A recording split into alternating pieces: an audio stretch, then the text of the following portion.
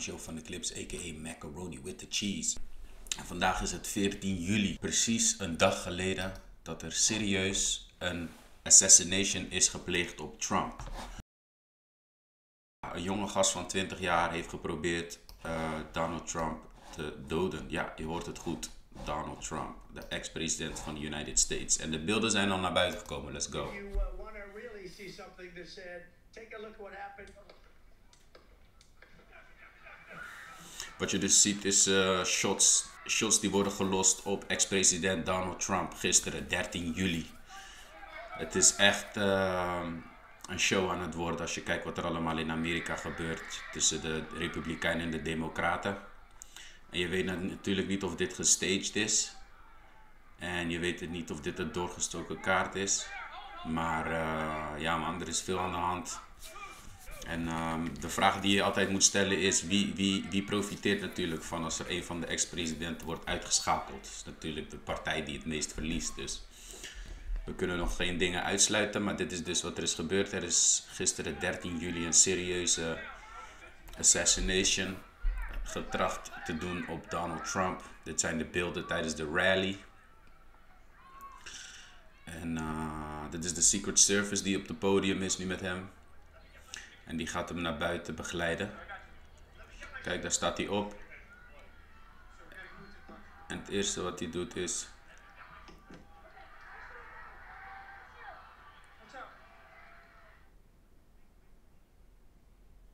Meteen zijn hand omhoog.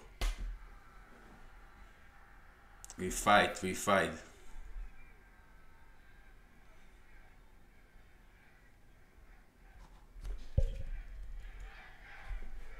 USA, USA. Deze man is, heeft een gouden hart. Dus uh, ja, er is dus serieus een assassination getracht te proberen in Pennsylvania, de Battle Park. Er wordt gesuggereerd dat het een 20-jarige jongen is. Thomas Huppelepup, Thomas Matthew Crooks. Maar ja, dit, dit, vanaf hier zou het dus moeten gebeuren, vanaf, vanaf deze, dit gebouw. En dit is de Trump Stage. Hierachter staan uh, law enforcement, dus FBI dat soort dingen staan om de rug te dekken. Maar ja, niemand staat op dit gebouw. Terwijl dit gebouw ook gesecured had moeten worden. Dit gebouw had moeten worden. Dit had moeten. Snap je? Dus we weten het allemaal niet. Dus uh, er is veel aan de hand. Veel aan de hand in Amerika. En uh, ja, with that being said. Maar goed. Um, video gaat een hele andere video worden dan jullie gewend van mij zijn. Ik ga het namelijk hebben over wat ik de afgelopen tijd heb gedaan. Uh, de afgelopen tijd heb ik dus ook weer een nieuwe baan. Uh, we gaan steeds dieper in de cybersecurity domein gaan we werken. En um, ja, ik, vind, ik heb het super leuk, ik heb het naar mijn zin. En, en daar komt dus heel veel studeren bij. Ik ben nu bezig met Network Plus. Maar dat vind ik leuk in mijn eigen tijd studeren. Veel mensen hebben dat, hebben het niet zo mee, maar ik wel. En uh, in de tussentijd ontwikkel ik mezelf op allerlei platforms. En een daarvan is AWS. En uh, wat ik dus op AWS heb gebouwd is een eigen webserver. En dat doe ik door middel van Terraform. Terraform is Infrastructure as Code. Wat je eigenlijk doet is um, eigenlijk uh, services bouwen Denk aan een EC2 instance, denk aan een Ubuntu, denk aan allerlei uh, services die je kan bouwen op de AWS platform, dus Amazon. En dit is dus wat ik heb gebouwd door middel van Terraform Code. En ik ga niet de Terraform code uitleggen, maar ik ga wel in notendop uitleggen wat ik dus heb gedaan. Wat je dus voor je ziet is een uh, is in AWS, de vierkante, buiten vierkant is AWS Cloud. Daar heb ik een abonnement op. En wat je dan doet, bij, bij Amazon kan je in verschillende regions, kan je dus een stukje cloud kopen. Althans, ik heb een free tier, dus dan kun je gewoon gebruik maken van een x aantal uur, dagen. En na verloop van tijd ga je ervoor betalen, maar het kost bijna geen drol, 1 cent of zo per uur of zo. Dus maar wat je dan doet is je bouwt een VPC, een Virtual Private Cloud. En in de Virtual Private Cloud kun je dus allerlei dingen bouwen. Wat ik dus heb gedaan is ik heb uiteindelijk een webserver gebouwd. En die webserver heb ik online gebracht door middel van Ubuntu en Apache. En het is een hele simpele webserver, maar wat ik dus eigenlijk doe en leer hierdoor is dus een eigen infrastructuur bouwen door middel van code. En dit is dus de AWS Cloud, de grote vierkant. Daarbinnenin heb je dus regions, verschillende regions wereldwijd die door AWS Amazon wordt geleverd. Nou, mijn region is US East A1. volgens mij is dat Virginia. Meestal krijg je één toegerekend waar er heel veel cloud aanwezig is waar je gebruik van kan maken. Nou, binnen daarin heb ik dus een VPC gebouwd, een Virtual Private Cloud. En in mijn eigen Virtual Private Cloud kan ik dus allerlei dingen bouwen, wat ik dus heb gedaan. En uiteindelijk wil ik dus dat jouw, um, jouw services binnen de VPC kunnen communiceren met de buitenwereld. Dat is niet iets wat je altijd wilt, maar in mijn setup is dat dus iets wat ik wilde. En dat doe je door middel van uh, private en publieke subnets. En je kunt dat combineren met security groups. Dan leer je een stukje security. Je leert uh, een Elastic Network interface opbouwen die dan communiceert met een Elastic IP-adres, dus een vaste IP-adres. En wat uiteindelijk gaat communiceren met jouw webserver. Daartussen gebruik je een internet gateway. Een internet gateway die gaat communiceren met jouw VPC en de buitenwereld internet. En dat doe je door middel van een route table. Nou, in een notendop is dit dus wat ik heb gebouwd. En um, ik heb erover geschreven in mijn Medium, in mijn Medium um, account. En uh, ik ga een stukje voorlopen. Below is a detailed explanation of my Terraform project, which involves setting up a simple web server infrastructure on AWS. This project uses Terraform to automate the provision of AWS resources such as VPC, subnets, route tables, internet gateways. En dat is dus wat ik dus uitleg, dat ik dus simpelweg zoiets heb gebouwd. Um, nou, dit is dus mijn webserver die online is en running. En daar ben ik best wel trots op. En die draait dus op AWS. En ik had dus gaandeweg veel errors, veel fouten natuurlijk, omdat ik dit moet leren. En die fouten die draai ik dan gewoon in ChatGPT. En via ChatGPT legt hij mij dus uit wat ik precies fout doe en hoe ik dat kan corrigeren. En gaandeweg leer je eigenlijk zo hoe je dus uiteindelijk een, een, een, um, een hele infrastructuur kan bouwen door middel van um, Terraform. Rechts, rechts zie je dus mijn Terraform code. En de eerste uh, lijn die ik dan heb gemaakt in mijn main Terraform document is uh, create a VPC, resource AWS VPC. En dat gaat hij met de CIDR block doen. Um, IP is 10.00016. Dat is een 16-bit 16-bit uh, IP-adres. De tweede is create an internet gateway. Dat is dus de gateway talk to the outside world. Dat is dus deze. Die is voor zorg dat ik met de buitenwereld kan praten met door middel van internet. Derde is een egress only internet gateway voor IPv6. Nou, voor internet protocol v6. Daar gaan we dus eh, overal op stappen. Maar we hebben dus nu de subnets veel gebruik gemaakt. Omdat we dus wereldwijd een schaarsheid is aan uh, IP-addresses. En uh, Christian route, route Table. Route Table is natuurlijk om te begeleiden waar de IP-adresses naartoe kunnen geleid worden. En Route.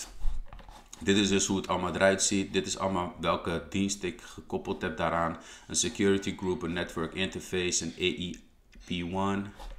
En uh, dit is hoe het eruit ziet, de running. En daar ben ik super trots op. Dat ik dus dit voor elkaar heb gekregen. En mijn IPv1.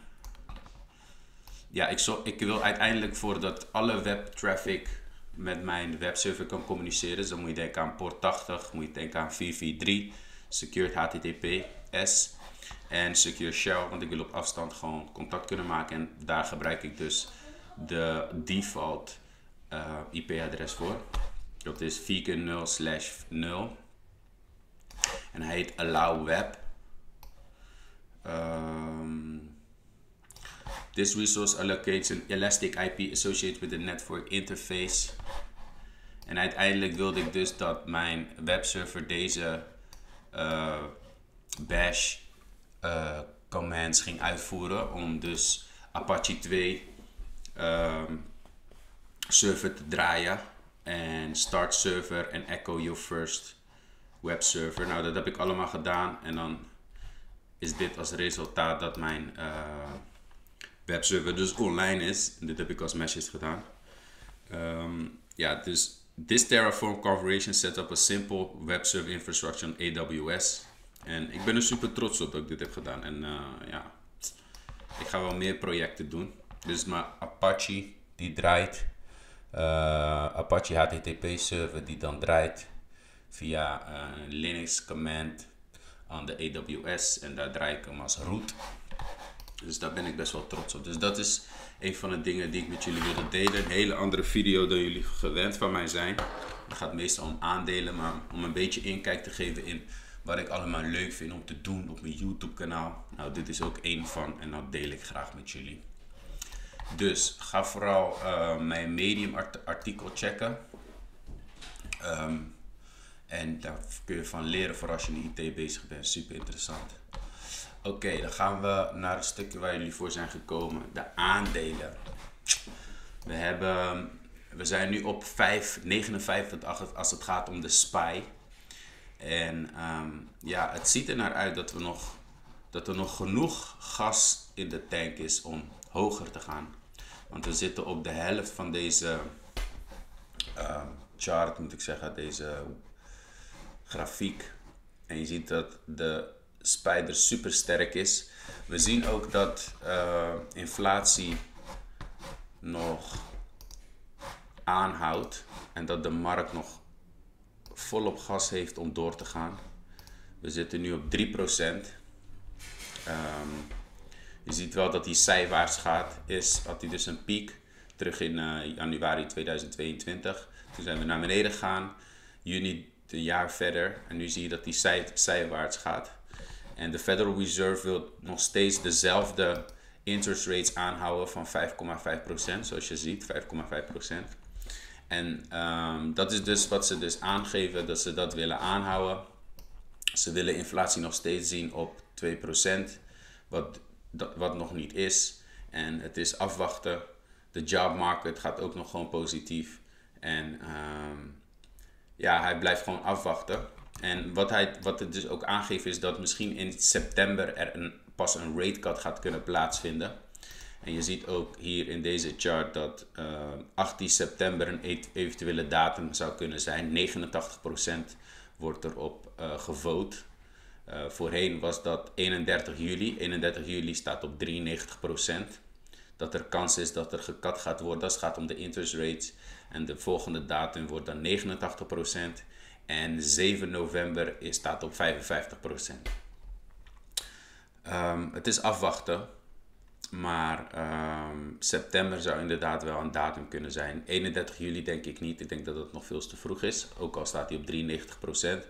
Maar ik denk dat september misschien wel een optie zou kunnen zijn om te katten. Maar uh, gezien het feit inflatie nog steeds rond de 3% is en de markt super sterk is. Want als je gaat kijken naar de SPY, je ziet dat deze, gewoon, deze jongen wil gewoon, ja, die, oh, die, die, het ziet er niet naar uit dat die, um, het ziet er niet naar uit dat hij een enig idee heeft om te stoppen. Zelf had ik dus een, een prijs aangegeven van 6048, dat was van deze lijn. En je ziet dat we aardig op weg zijn. Um, op Twitter wordt er ook gesuggereerd dat we dus een correctie kan plaatsvinden, wat gezond zou zijn. Maar er wordt ook gesuggereerd dat er natuurlijk ook een grotere crash zou kunnen komen.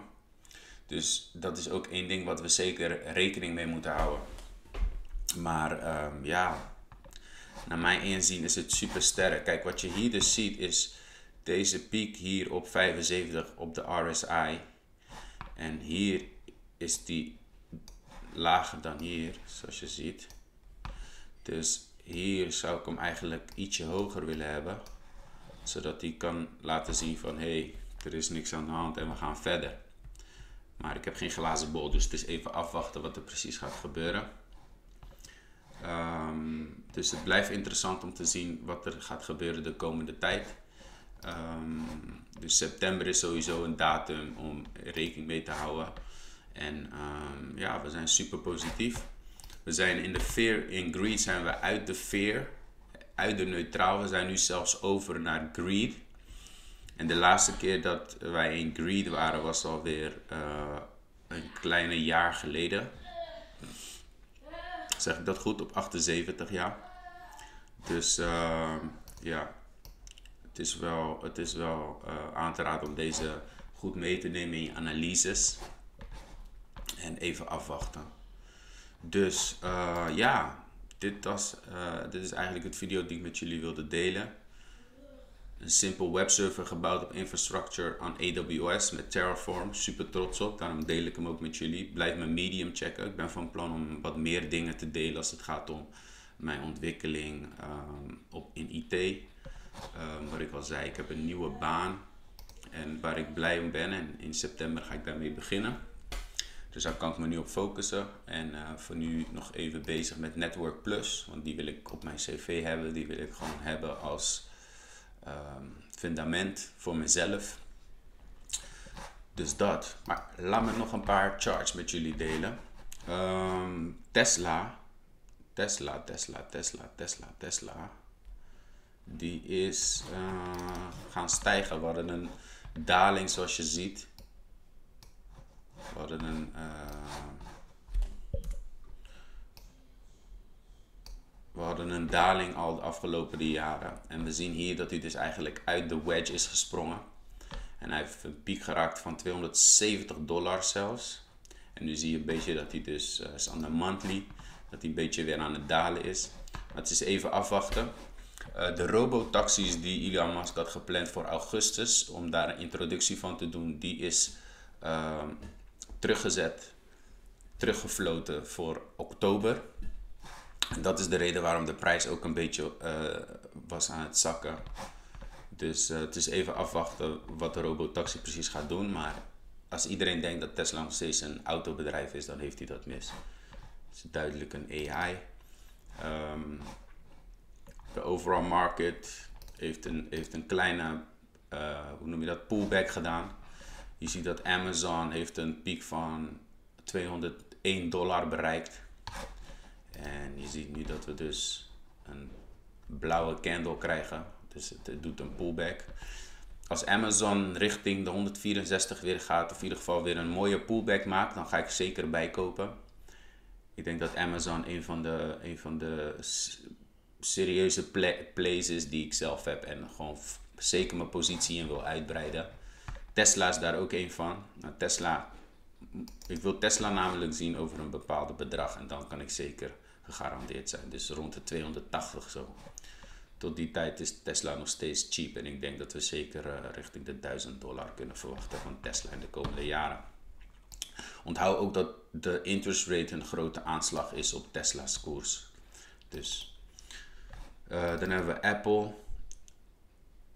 Apple. Apple had een daling van rond de 160 dollar en is nu 230. Kan je nagaan in hoeveel maanden dat is. 1,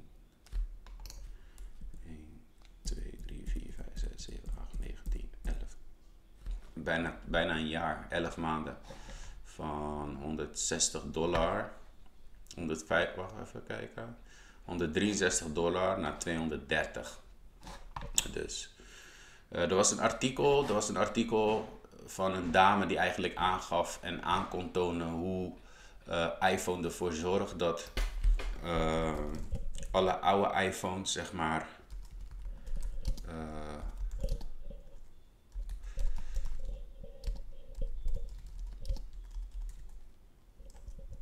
ze kon eigenlijk aantonen hoe, hoe, de, hoe, uh,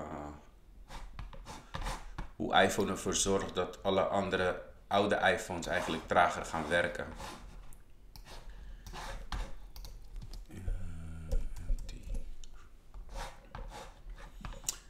In ieder geval, ja, er was een artikel over. Kan ik nu niet vinden precies, maar er was dus een artikel over dat ja, de, de staak. Dus niet van de producten. Wel van de producten, maar meer. Ik zou liever aandelen willen kopen. Oké, nou back to some serious questions. Um, wat kunnen we nog meer delen, guys? Oh ja, hebben jullie de daling gezien van Alphen? Alphen heeft een hele daling gehad als het gaat om uh, de prijs. Ik had al een vermoeden dat deze zou gaan dalen, maar dit is echt uh, bizar. Alphen is nu 18 euro per aandeel. En die komt helemaal van 113, 120, een kleine twee jaar geleden. Uh, door slechte management en dat soort dingen. Het is een Nederlands bedrijf. Dus even afwachten wat we gaan zien in de komende tijd. Maar uh, ja, is het een positief bedrijf om te investeren, weet ik niet. Voor de rest, Agen. Agen doet je pinpas transacties en zo. Ik heb vermoeden dat Agen ook nog niet klaar is met de lowere levels. Dus even afwachten. En uh, ja, we gaan het zien. Stay positive en vooral uh, wees scherp. Uh, spannende tijd komen eraan met de verkiezingen tussen Trump en Biden. We hebben nu die aanslag gezien als het gaat om Trump. Dus we gaan zien wat er allemaal gaat spelen de komende tijd. we zitten in het derde kwartaal van de presidentiële jaar. Zeg ik het goed? Uh, ja, derde kwartaal van het presidentiële jaar 2024. Dus we gaan kijken wat er allemaal gaat gebeuren. En keep in mind wat ik jullie heb gezegd. Hè. De komende jaar gaat het nog erger worden. De komende jaar gaat het nog bizarder worden van wat er allemaal gaat gebeuren. Maar goed, rate cut dus. September, uh, ehm, 18 september. Hou dat in gedachten. En hou vooral mijn Twitter in de gaten, waarin ik veel nieuwtjes deel. En uh, we gaan het zien, man. We gaan het zien. We gaan het zien. With that being said, blijf me volgen op mijn YouTube kanaal. Hit de subscribe button. En ik zorg dat jullie gewoon bijblijven met alle kennis die ik interessant vind. En vooral voor jullie interessant. With that being said, see you on the next video. And we out. Peace.